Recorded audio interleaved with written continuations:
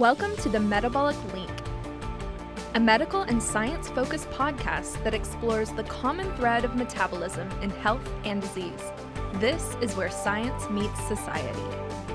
Welcome back to another episode of the Metabolic Link. Today we're sitting down with Dr. Lucia Aronica to discuss how nutrition affects our epigenetics, how an individual's genetic makeup influences which diet is most suitable for them, and what biomarkers can be utilized to assess response to diet. Dr. Aronica is a lecturer and research scientist who focuses on how diet can change gene expression and how we can use this information to design personalized lifestyle interventions for optimal health and longevity. This interview was recorded in partnership with the Charlie Foundation at Metabolic Health Summit 2022. Thanks for listening, and we hope that you enjoy.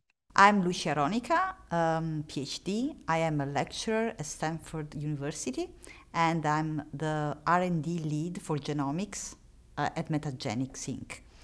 Uh, the focus of my research uh, is uh, nutri-epigenetics, uh, which describes the science of how the food we eat can uh, affect our genes function through epigenetic mechanisms. So epi means on the top in the Greek language, and so epigenetics is the way uh, that uh, modifications on the top of our DNA can regulate which genes are turned on or off in our cells. And this makes this this explains why, for example, we um, uh, we change in response to a diet. And so I'm specifically looking at how the epigenetics of people changes after going on a low carb or a ketogenic diet at Stanford University. And I teach courses on this topic. Um, my courses are on uh, nutrigenomics, which is a, a, broader field. So, nutrigenomics is uh, the science of uh, how DNA and diet dance with each other. And the first step is uh, nutriepigenetics, which we have described. The second step is nutrigenetics, which is the way our genes can affect how we resp- respond to the food we eat. So it's a really two-way uh, communication. On one hand, our genes can affect our response to food, and from the inside out. And on the other hand, the food we eat can affect the way uh, our genes work from the outside in and this is nutrigenomics. So it's a complex uh, topic. Usually people pay attention more to nutrigenetics because it's what is more popular now, now that direct-to-consumer genetic testing is available. Uh, but I think uh, probably uh, nutri-epigenetics is a more powerful tool that we all have in our hands to make sure we control our genes, not the other way around. I was born as a, a, molecular biologist working on epigenetics, in single cell uh, model systems. Um, and, uh, but at the same time, in my private life, I, I was a, a food as medicine enthusiast. And I was also, um, during my PhD, doing, doing strength training. And so I was experiencing through my dietary um, experiments with low carb, um, extraordinary changes in my blood lipids, which were surprising. So I am Italian, and uh, it's obvious from my accent, and uh, I, I, I was used to eat a high carbohydrate, low fat diet. Uh, during my PhD, I switched to a low carb diet, and as a result, uh, my my lipids changed completely. So my I had a, a, a threefold reduction in my triglycerides and uh, uh, a twofold increase in my HDL. So my HDL skyrocketed from a, a healthy value of 60 milligram per deciliter to, to a, a, value of 135 milligram per deciliter, which I, I have uh, now. So anyway, I was just curious about this low carb field and I wondered can I apply my molecular biology knowledge to nutrition? And so this was actually a, a radical change in my career because um, at that time, so I did a PhD working on epigenetics in, uh, Tetrahymena thermophila. The model organism in which telomeres have been uh, uh, identified. Telomeres are the chromosome caps that are associated uh, with longevity and the clock of our cells. And then I did a postdoc working on another epigenetic modification in yeast. So I was already on uh, very much specializing in this niche of molecular biology. So it was a quite radical change to then decide to come to Stanford University to investigate yet another type of uh, epigenetic modification in human cells and in the context of a clinical trial of low carb diet. But that, that has been the best decision I ever made in my life.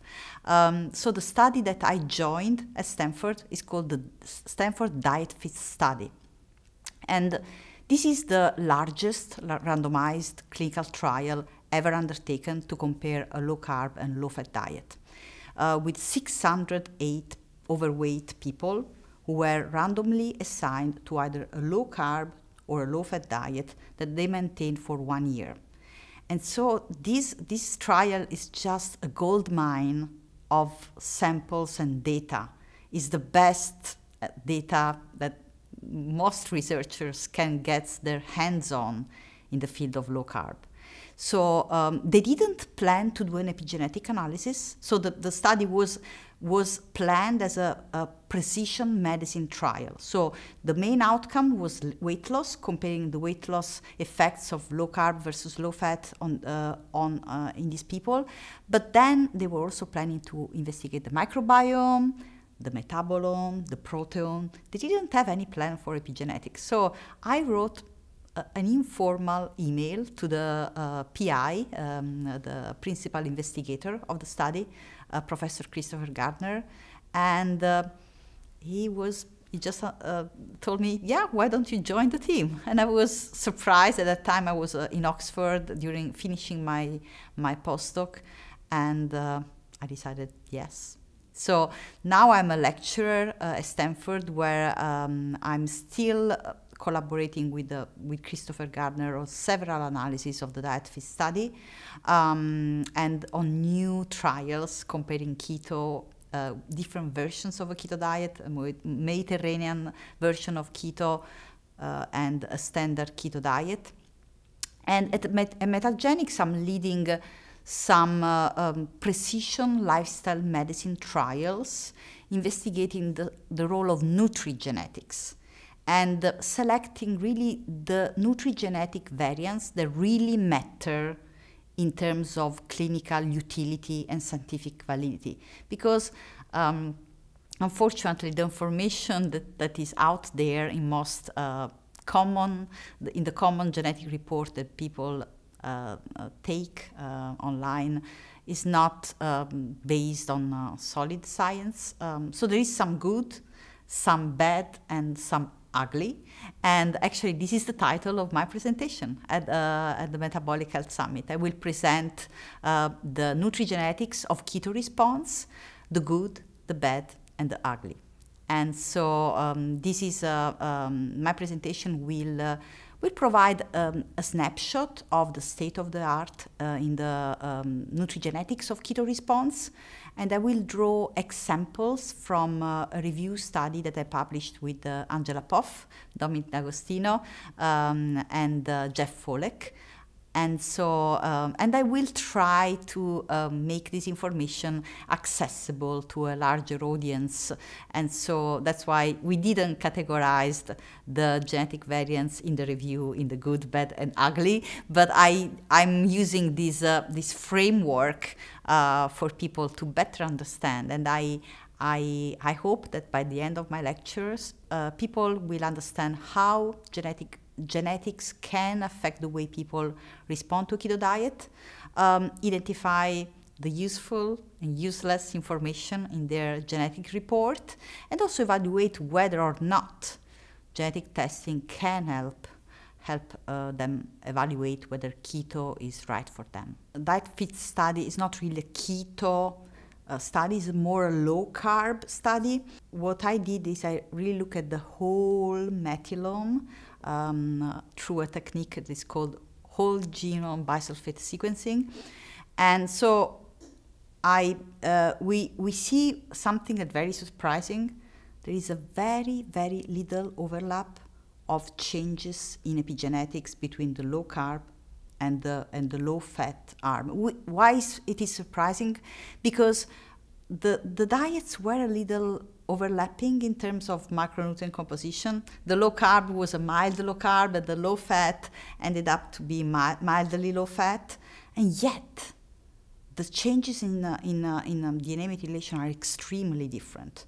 Um, so, in our discovery analysis, where we just looked at everything, uh, we, uh, we, we selected the top 10 hits, hits, and we see that, for example, on the low carb arm, arm we see um, fat metabolizing genes that are upregulated, whereas in the low fat uh, arm, there are several genes that are upregulated. Most of them are some cancer protecting gene tumor suppressor genes in the, for colon cancer.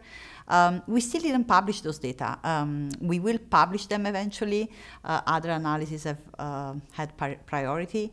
But I think the most uh, practical um, finding of that study was um, that we also looked at one single epigenetic marker uh, for type 2 diabetes. So this is a site in our DNA that when we gain weight, and we develop diabetes, it gets hypermethylated. Methylation is one of these epigenetic modifications. So it's a sensor of the environment, of gaining of a, an obesogenic environment that, that eventually leads to type 2 diabetes. So imagine that we have this site, this epigenetic sensor that gets methylated. Now, I looked at this specific site before people started the diet and one year after when they completed the low carb and the low fat diet. For both arms, the methylation decreased when people, as people lost weight and uh, were, were eating a whole food diet.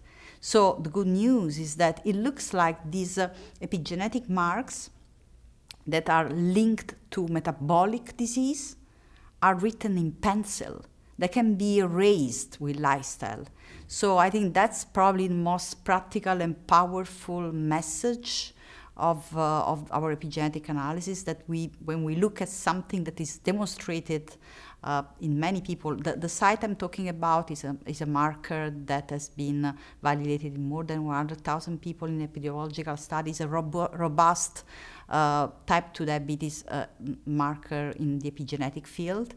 And so it's reassuring to see that this changes. And it might be potentially used as a biomarker for type 2 diabetes to uh, really uh, pinpoint patient that starts to develop an impaired glucose metabolism before uh, they, they, uh, they manifest the traditional risk factors for uh, uh, type 2 diabetes, hemoglobin uh, A1C or higher glucose. Sometimes these changes can, can uh, start very early and can reverse rapidly. In our, in our study, it, we, we measured the, the changes after one year, but we don't know whether we might have seen even changes at six months, right? So anyway, um, it's a fascinating study and it's wonderful to work at Stanford. I really enjoy working uh, with the team of Christopher Gardner. And again, we didn't. Uh, uh, this is this, these are unpublished data that we may refine. So we, we, we need to uh, refine the analysis and look at significance level. But we, we see improvements on both, both diets, which indicates that weight loss. So this is also important to um, note. This was a weight loss study, right? So um, of course, these people had an over-methylated uh, site because they were overweight. And so, um, of course, when they lose weight, it may not matter whether it's low carb or low fat. But another important um, uh, factor to consider is that both diets were lower in carbohydrates compared to the standard American diet. They were both, both whole food diets. And I think everyone agrees that if we eat whole foods, it doesn't matter whether we prioritize the fatty foods or more the vegetable and fruits, but we are going to eat less carbohydrates than when we consume refined carbohydrates, bread, pasta, sugars. So they were both low carb diets. One was more uh, low carb and with higher fat, fat, uh, fat intake, whereas the other was more uh, lower in fat and higher in carbohydrates from fruits and vegetables and uh, legumes. It's not about living longer, it's living longer better, happier every day. And so I, I look at metabolic health like really the heart of our health. And we can do it, uh, we can take care of it every day through enjoyable activities, like learning how to eat um, um, uh, nutritious food, exercise, stress reduction, is also an act, an act of taking care of us. I think really uh, metabolic health is for me the heart, the home of health. And it's something that actually democratize, if we switch the, the focus to metabolic health, we democratize health for everybody. Because focusing on these is easier than, for example, curing a disease when symptoms arise already and it's more expensive for people. And also, it's, uh, I think, uh, taking away a lot of quality of life um, in the life of many people. Yeah, I hope that um, probably we can, uh, um, we can educate um, a larger public about the importance of metabolic health, what it is, and why it is important, why, why, why we can actually control, we, ha- we have control on our health. And, um, and this is tricky. It, uh, it, it will take the efforts of scientists, communicators, policymakers, because unfortunately also the system, the food system in which we live, can make for many people difficult to make choices every day. So I really, my hope is that we can bring metabolic health to a larger audience. I know that all all the people are at the conference today, they're already convinced. They're already working on, on their metabolic health. Uh, what I care about are the people that we can't reach now because there are barriers. And I hope that also through advocacy and meetings like these, we can reach more people in the future. Thanks for listening to this episode of The Metabolic Link. If you're enjoying this podcast, please share, subscribe, follow, and leave us a comment or review on whichever platform you use to tune in. We hope you'll join us next time.